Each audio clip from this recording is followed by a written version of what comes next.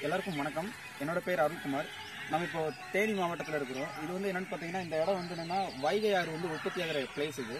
இந்த இடத்துல வந்து என்னன்னு பார்த்தீங்கன்னா இப்போ அதாவது என்னன்னா தமிழ்நாட்டிலே தோன்றி தமிழ்நாட்டிலே இருக்கக்கூடிய ஒரு அணை வந்து என்னன்னு பார்த்தீங்கன்னா இந்த வைகை ஆறு வந்து முக்கியமாக ஒன்றா இருக்கும். இது வந்து என்னென்னு பார்த்தீங்கன்னா இப்போ சுத்தமான குடிநீர் வந்து இந்த தேனி மாவட்டத்துக்கு வந்து இங்கிருந்தா கிடைக்குது. ஆனால் தமிழ்நாட்டில் நடக்கக்கூடிய மிக மு- முக்கியமான பிரச்சனை என்னன்னு பார்த்தீங்கன்னா இந்த ஆற்றங்கரையில் வந்து பார்த்தீங்கன்னா கழிவுநீரை கலக்கிறது. இது வந்து சென்னையில் மிக முக்கியமாக ஒரு மிகப்பெரிய பிரச்சனையாக இருக்கும். கூவம் ஆற்றை வந்து அப்படியே வந்து ஆற்றில் கலந்து அங்கே இருக்கிற ஆறுகள் எல்லாத்தையுமே வந்து என்னென்னா ஆசைப்படுத்திக்கிருப்பாங்க இப்போ எக்ஸாம்பிளுக்கு வேளச்சேரி ஏரின்னு சொல்கிற இடத்துல கூட பார்த்தீங்கன்னா அப்படியே வந்து அது வந்து ஏரி மாதிரி இருக்காது சாக்கடையாக இருக்கும். அங்கே வந்து என்னென்னா வார வாரம் நாங்கள் போய் என்னென்னா அதை குப்பையெல்லாம் எடுத்து போடுவோம். அந்த மக்கள் விழிப்புணர்வு இல்லாமல் அது கழிவுகளை கலக்கிறது அதுக்கப்புறம் குப்பையை போடுறது இதுவே நடந்துட்டு இருக்கும். இது அங்கே மட்டும் நடக்கிறதுன்னு பார்த்தீங்கன்னா தமிழ்நாட்டில் எல்லா பிளேஸுமே நடக்குது. இப்போ நம்ம நாட்டில் வந்து வளர்ச்சி டெவலப்மெண்ட் என்னென்னமோ சொல்கிறோம் வேலைவாய்ப்பு தற்சார்பு பொருளாதாரம் இது எல்லாமே சொல்கிறோம் ஆனால் நம்ம என்ன பண்ணுறோன்னு பார்த்தீங்கன்னா நான் நம்ம மாநிலத்தில் அதாவது இந்த ஆற்றங்கரையில் தான் வந்து நாகரீகமே நாகரிகமே தோன்றுச்சுன்னு சொல்லுவாங்க. ஆனால் இங்கே எல்லா ஆற்றுலையுமே பார்த்தீங்கன்னா கம்பல்சரி வந்து என்ன சாயக்கழிவு கலக்குறாங்க சாக்கடையை கலக்குறாங்க இந்த அவேர்னஸ் எங்கேயுமே இல்லை. எவ்வளோ தலைவர்கள் வராங்க. நான் வந்து அதை பண்ணிடுவேன் இதை பண்ணிடுவேன் நம்ம நாடை வல்லரசு ஆக்கிடுவேன் சிங்கப்பூர் மலேசியா வைக்கிறோங்கிறாங்க ஆனால் ரொம்ப கேவலமாக இருக்குது இதெல்லாம் பார்க்கும்போது. நான் குடிக்கிற ஒரு பக்கம் வந்து என்னன்னா குடிக்கிற தண்ணி இன்னொரு பக்கம் பார்த்தீங்கன்னா கழிவுநீர் கலக்கிற கால்வாயாக இருக்குது. இதுக்கு ஒரு தீர்வு கொண்டு வரணும். இது படித்த இளைஞர்கள் அதாவது யங்ஸ்டர்ஸ் கூட இது வந்து என்னன்னா இதுக்கு ஒரு தொழில்நுட்பத்தை கொண்டு வந்து இதை எப்படி வந்து கலக்காமல் இது வந்து எப்படி ஒரு முறையாக பாதுகாக்க முடியும் அப்படிங்கிறத நம்ம கொண்டு வரணும். கவர்மெண்ட்டுக்கு இதை முறையாக வ- வழிநடத்தணும். இதை வந்து பாதுகாக்கிறதுக்குனே ஒரு ஒரு குழு அமைக்கணும். அது மீறவங்களுக்கு வந்து என்னன்னா தக்க ஒரு நடவடிக்கை எடுக்கணும். அப்படி இருந்தால் மட்டும்தான் இந்த வந்து இந்த வளங்களை ஆற்று மணல் கொள்ளையடிக்கிறது இந்த மாதிரி எவ்வளோ பிரச்சனைகள் இங்கே இருக்குது. இதெல்லாம் சரி பண்ணணும்னா இதுக்கு சரியாக ஒரு டீம் அமைச்சு இதுக்கு வந்து இதை மீறவங்களுக்கு தண்டனை கொடுத்தான்னா கண்டிப்பாக நம்ம இதை பாதுகாக்க முடியும். இயற்கை வளங்களை பாதுகாக்காம எந்த ஒரு நாட்டையும் முன்னேற்ற முடியாது. அதனால வந்து என்னன்னா விழிப்புணர்வுங்கிறது வந்து என்னன்னா வெறும் அரசாங்கத்துக்கு மட்டும் இல்லாமல் மக்களுக்குமே இருக்கணும். குடிக்கிற தண்ணியில் இப்படி வந்து நம்ம வந்து சாக்கடை கலக்கிறது வந்து குற்றம்னா அதை பார்த்துட்டு இருக்கிறது குற்றம். அந்த ஊர் மக்கள் வந்து இதுதான் குடிக்கிறாங்க. இங்கே சாக்கடை கலக்குது. ஆனால் இதை கண்டுக்காம அவங்க பாட்டில் கடந்து போயிட்டே இருக்கிறாங்க. இது ஒரு நாலு பேர் கேள்வி கேட்டிருந்தானே கண்டிப்பாக வந்து ஒரு மாற்றம் நடந்திருக்கும். அதுக்கு ஒரு சொல்யூஷன் கிடைச்சிருக்கும். ஆனால் யாருமே வந்து அது கேட்கறது கிடையாது. நமக்கு என்ன நமக்கு என்ன வந்துச்சு அப்படி போகிறாங்க ஆனால் இதுதான் உங்க வீட்டுக்கு குடிநீராக வருது. அப்படி இருக்கும்போது நமக்கு ஏகப்பட்ட பிரச்சனைகள் வருது. நம்ம ஹாஸ்பிட்டல் போகிறோம் அதாவது என்ன பிரச்சனைக்கு மூலாதாரம் எங்கே இருக்குன்னு பார்த்தீங்கன்னா இங்கே தான் இருக்குது.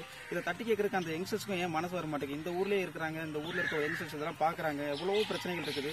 ஒரு ஃபோட்டோ எடுத்து இது வந்து ஒரு ஒரு- ஒரு வந்து ஒரு நாளைக்கு ஒரு கம்ப்ளைண்ட் ஃபைல் பண்ணுறது இதே மாதிரி ரெகுலராக நடந்துட்டே இருக்கும்போது அவங்க என்னென்னு வந்து பார்ப்பாங்க.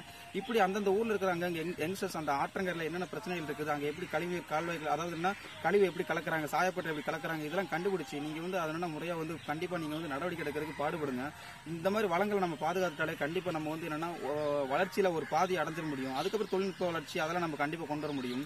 அதனால் நான் வேண்டுகோள் வைக்கிறது பார்த்தீங்கன்னா அந்தந்த ஊரில் இருக்கிற யங்ஸ்டர்ஸ் வந்து கண்டிப்பாக இந்த மாதிரி பிரச்சனைகள் இருந்துச்சுன்னா அதை தட்டி கேளுங்க. தட்டி கேட்கறதுல ஒரு பிரச்சனையும் வரப்போறது கண்டிப்பாக அதுக்கு வந்து ஒரு தீர்வு கிடைக்கும். அதனால முடிஞ்ச அளவுக்கு நம்மளோட இயற்கை வளங்களை நம்ம பாதுகாக்கணும் ஆற்றை சுத்தமா வச்சுக்கணும். நம்ம குடிநீர் வந்து எந்த அளவுக்கு முக்கியம் அப்படிங்கிறது நமக்கே தெரியும். இந்த கோடை காலங்கள்லாம் பார்த்தீங்கன்னா சென்னையில வந்து தண்ணிக்கு அந்த அளவுக்கு கஷ்டப்பட்டு இருக்கிறாங்க. அதனால நம்ம வந்து கண்டிப்பா அதை பாதுகாக்கணும். இதுக்கு யாராவது ஒரு முடிவு எடுக்கணும் அதாவது நடவடிக்கை எடுப்பாங்கன்னு பார்ப்போம். நாங்க இதை வந்து கொஞ்சம் மேல் எடுத்து கொண்டு போகலான்னு பார்க்குறோம். நிறைய வீடியோஸ் அந்த ஃபுட்டேஜ்லாம் வந்து கொண்டு போய் கொடுக்கலான்னு இருக்கிறோம்.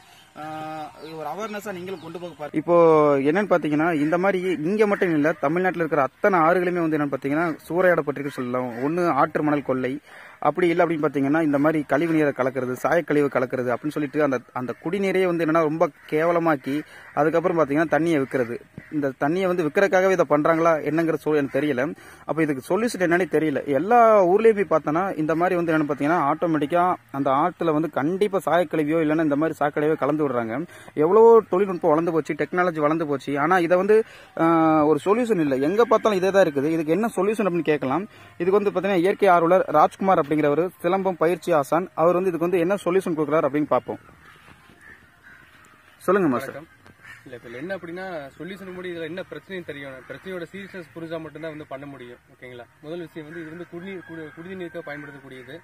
நிறைய உயிர்களுடைய வாழ்வாதாரமா இருக்கக்கூடிய இந்த ஆறு. சரிங்களா?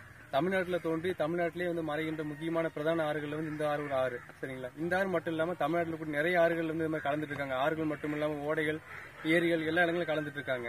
இப்போ இதுலயே பாத்தீங்கன்னா இப்போ என்னன்னா நேரடியாக வந்து சாக்கடை வந்து உள்ள கலக்குது. இப்போ என்ன பிரச்சனை அப்படின்னு சொல்லி பாத்தீங்கன்னா இந்த சாக்கடையில் எல்லாமே வந்து ஒவ்வொருத்தருடைய வீட்டுல இருந்தா வருது. யாரோ ஒரு அரசியல்வாதியோ இல்ல வேற யாரோ வந்து ஒன்றும் பண்ணல. ஒவ்வொரு வீடுகள்ல இருந்தா வந்து குப்பையை கொட்டுறாங்க. ஒவ்வொரு வீடுகள்ல இருந்தா வந்து சாக்கடை கழிவுநீர் வந்து கலக்குறாங்க. இதுல என்ன அப்படின்னா இயற்கையா வந்து வீட்டுல இருந்து வந்து வரக்கூடிய இந்த சாக்கடை கழிவுநீருக்கு வந்து உரத்தன்மை இருக்குது. இதுக்கு இந்த இதுக்குன்னு வந்து சில உரத்தன்மை இருக்கனால வந்து இது என்ன நேரடியாக வந்து நீர்ல கலக்குது இல்லைங்களா? நீர்ல கலக்கும் போது என்ன ஆகும்னா வந்து இந்த இடத்துல வந்து யூட்ரோபிகேஷன் அப்படிங்கிற ஒரு ப்ராசஸ் வந்து தண்ணியில் நடக்கும். அது என்ன யூட்ரோபிகேஷன் அப்படின்னு சொல்றதுக்கு முன்னாடி ஒரு விஷயம் சொல்லிடுறேன் தெளிவா. நம்ம ஓடக்கூடிய எல்லா தண்ணியிலையும் வந்து ஆக்சிஜன் ஒரு கண்டென்ட் இருக்கும். அந்த ஆக்சிஜன் அப்படிங்கிற கண்டென்ட் வந்து அந்த தண்ணியில இருந்தால் மட்டும்தான் என்ன ஆகும்னா அந்த தண்ணியில வந்து உயிர்கள் வாழும். இல்லைன்னா அந்த- அந்த தண்ணியில் வாழக்கூடிய எல்லா உயிர்களும் அழிஞ்சு போயிடும். ரெண்டாவது விஷயம் நீங்க ஒரு ஒரு குப்பையோ கூலத்தையோ ஒரு இல்லாட்டி உதாரணத்துக்கு நீங்க கங்கையை எடுத்துக்கங்க. கங்கையில இறந்த பிணங்களை வந்து சரியா எரித்தும் எரிக்காமல் வந்து உள்ள நதி நீர்ல போடுறாங்க. அப்படி போடக்கூடிய இந்த பிணங்கள் வந்து கரெக்டா மக்கி அழுகி போறதுக்குள்ளான காரணம் என்ன அப்படின்னு கேட்டீங்கன்னா அந்த தண்ணியில் இருக்கக்கூடிய ஏரோபிக் பாக்டீரியாஸ்னு சொல்லுவாங்க. Aerobic bacterias. அந்த பாக்டீரியாஸ் என்ன பண்ணணும்னா நீங்க தண்ணியில எந்த குப்பை கோலம் எந்த கருமத்தை நீங்க உள்ள போட்டாலும் அது என்ன பண்ணும்னா நீர்ல இருக்கக்கூடிய ஆக்சிஜனை எடுத்துட்டு அந்த பொருளை செதைச்சு அது நீரோட நீருடைய தன்மை கெட்டு போகாம நீரை பாதுகாக்கும். கங்கையில் அவ்வளவு இந்த கழிவுநீர் கலந்ததுக்கு அப்புறம் அந்த கங்கை இன்னும் புனிதமா இருக்குது அப்படிங்கிறதுக்கு உண்டான காரணமே வந்து அந்த கங்கை நீர்ல அந்த உயிர்களும் அங்க இருக்கக்கூடிய அந்த ஏரோபிக் பார்ட்டியாஸ் தான். இப்ப இந்த இடத்துல என்ன நடக்கும் அப்படின்னு சொல்லி பாத்தீங்கன்னா இந்த மாதிரி கழிவுநீரை வந்து நீங்க ஆத்துல குளங்கள்ல கலக்குறீங்கல்ல அப்படி கலக்கும் போது என்ன ஆகும்னா அது இந்த இதுக்கு வந்து உரத்தன்மை வந்து ரொம்ப அதிகம். அப்ப இவ்வளவு உரத்தன்மையுள்ள ஒரு விஷயங்கள் வந்து நேரடியா வந்து ஆத்துல கலக்குது அப்படிங்கும்போது என்ன ஆகும்னா ஆற்றுல வந்து இந்த இருக்கக்கூடிய இந்த உரத்தன்மையை எடுத்துக்கிட்டு நீர்வாழ் தாவரங்கள் வந்து அதிகரிக்கும். இப்ப உதாரணத்துக்கு ஆகாய தாமரை எல்லாம் பார்த்திருப்பீங்க. ஆகாய தாமரை வந்து குளங்கள் ஏரிகள்ல வந்து வந்துருச்சு. ஆத்துல வந்து ஆகாய தாமரை வந்து நிறைய முளைச்சிருக்குது அப்படின்னு சொல்லுவாங்க. அந்த ஆகாய தாமரை வந்து திடீர்னு முளைக்காது. இயற்கை நீதிப்படி வந்து எவ்வளவு அளவுல வந்து அது முளைச்சிருக்கணுமோ அவ்வளவு அளவு தான் இருக்கும். அது இயல்புக்கு மாற வந்து அதிகமா முளைச்சிருக்குது அப்படின்னு அப்படின்னா என்ன காரணம் அப்படின்னா நீங்க அதிக அளவு உரம் கலக்கப்பட்ட நீரை வந்து ஆத்துல கலக்குறீங்க. இல்லாட்டி வந்து கழிவு நீரை வந்து நீங்க ஆத்துல கலக்குறீங்க அப்படிங்கறது அர்த்தம். அப்ப இது வந்து ஆத்துல நீங்க கலக்குறீங்க. கலக்கும் போது என்ன ஆகும்னா ஐகோனியா செடி இந்த மாதிரி நீர்வாழ் தாவரங்கள் ஆகாய தாமரை போன்ற நீர்வாழ் தாவரங்கள் வந்து அதிகமா வளரும். அது வளரக்கூடிய அந்த தாவரங்கள் என்ன பண்ணும்னா தண்ணியில கூடிய ஆக்சிஜன் மொத்தத்தையும் எடுத்துக்கும். அப்ப தண்ணியில கூடிய மொத்த ஆக்சிஜனை எடுத்துட்டு அந்த தாவ- தாவரங்கள் வளரும் போது என்ன ஆகும்னா அந்த தண்ணியில கூடிய அந்த ஏரோபிக் பார்ட்டியாஸ் அழியும் ரெண்டாவது அதுல கூடிய மீன்கள் ஃபுல்லும் செத்து மிதக்கும். மூணாவது அந்த தண்ணியில் நீங்க எதை போட்டாலும் அது வந்து மக்காது. அப்ப என்ன ஆகும்னா நீங்க கண்ணு மூடி வந்து அழிச்சிட்டு இருக்கீங்க. குளங்கள் ஏரிகளை ஆறுகளையும் வந்து கண்ணு மூடி அழிச்சிட்டு இருக்கீங்க. இதுதான் வந்து நிதர்சனமான உண்மை. யாரோ ஒரு தலைவர் வருவாரு அவருக்கு நம்ம ஓட்டு போடுறோம் அவர் வந்து நம்ம வாழ்க்கையை மாத்துவார் எல்லாம் நினைச்சிட்டு இருக்கீங்க. நம்முடைய மாற்றம் நம்முடைய சுற்றுப்புறத்தினுடைய மாற்றம் நம்ம மக்களுடைய வாழ்- வாழ்க்கையில் ஏற்படுகிற மேம்பாடு அப்படிங்கிறது எல்லாமே வந்து நம்ம செய்யக்கூடிய சிறு சிறு செயல்கள் தான் இருக்குது. ஒரு ஆட்டினுடைய அழிவும் ஒரு குளத்தினுடைய அழிவும் வந்து உங்க வீட்டில் வரக்கூடிய சிறு சாக்கடையிலிருந்து ஆரம்பிக்குது. நீங்க கலந்து வரக்கூடிய கழிவு நீர்ல இருந்து ஆரம்பிக்குது. அப்ப இதை பத்தி அக்கறை யாருக்குமே இல்ல. இதனால வந்து எவ்வளவு உயிர்கள் இல- இறக்க போகுது எவ்வளவு ஏரி குளங்கள் அழிஞ்சு போகுதுங்கிறத பத்தி யாருக்குமே கவலை இல்ல. ஏரி குளங்கள் ஃபுல்லா ஐகோனியா செடியா இருக்குது. செடி ஃபுல்லா அழியுது. மீன்கள் ஃபுல்லா செத்து மிதக்குது. ஏன் காரணம் கேட்டு நீங்க வீட்டுல இருந்து கலந்து வரக்கூடிய கழிவு நீர் தான். இப்படியே கலந்து விடுங்க. இன்னும் ஒரு பத்து இருபது வருஷம் தான். அதுக்கப்புறம் பாத்தீங்கன்னா ஏரி குளம் எது இருக்காது. பூராமே பாத்தீங்கன்னா ஒண்ணும் இல்லாம போயிடும். அதுக்கப்புறம் தண்ணிக்கு என்ன பண்ணி நீங்களே பார்த்து முடிவு பண்ணிக்கீங்க. சொல்யூஷன் உங்க வீட்டுல தான் இருக்குது. உங்க வீட்டுல மாத்திக்காம உங்களோட சோம்பேறித்தனத்தை ஒழிக்காம வந்து ஒருத்தன் தலைமை ஒருத்தன் வருவேன். அவன் வந்து எங்களுடைய தற்சார்பு பொருளாதாரத்தை கொண்டு வருவான். இப்படி இன மக்களை மாற்றுவான் அப்படின்னு நீ சொல்றது வந்து மகா முட்டாள்தனம். தலைமை வந்து உள்ள ஆட்களை கலந்துட்டு இருக்காங்க. கலந்துட்டு இருக்குது நீங்க. குப்பையை கொட்டது நீங்க. ப- உள்ள இந்த பாட்டில உடச்சு போட்டது நீங்க.